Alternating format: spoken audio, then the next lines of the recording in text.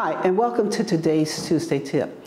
As promised, today we will talk about the limited MOR reviews as a part of the new MOR protocol. The limited reviews include analysis of the property's financial statements, surplus cash analysis, the risk-based assessment model classification. Basically, the limited deals with financial. What happens is that sometimes the people do, the reviewer will do a financial MOR and not a file content MOR.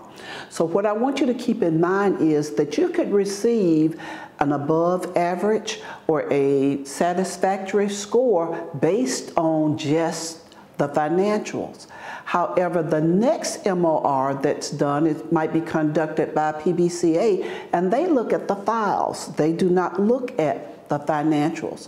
So I don't want you to be surprised that you have to actually maintain your files and stay in compliance with the 4350.3 handbook as far as your files are concerned.